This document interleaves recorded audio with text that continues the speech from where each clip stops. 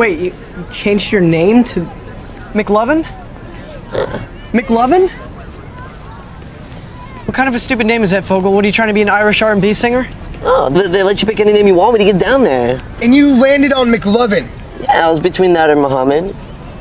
Why the fuck would it be between that or Muhammad? Why don't you just pick a common name like a normal person? Muhammad is the most commonly used name on earth. Read a fucking book for once. Fogel, have you ever actually met anyone named Muhammad? Have you actually ever met anyone named McLovin?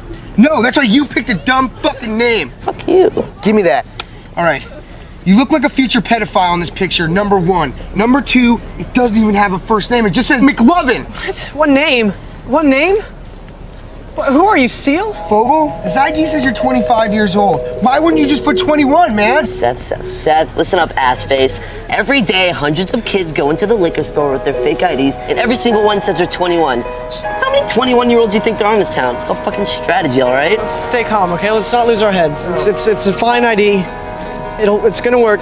It's passable, okay? This this isn't terrible. I mean, it's up to you, Fogel. This guy's either gonna think here's another kid with a fake ID, or here's McLovin, the 25-year-old Hawaiian organ donor. Okay? So what's it gonna be?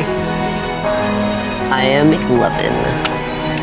No, you're not. No one's McLovin. McLovin's never existed because that's a made up, dumb fucking fairy tale name, you fuck!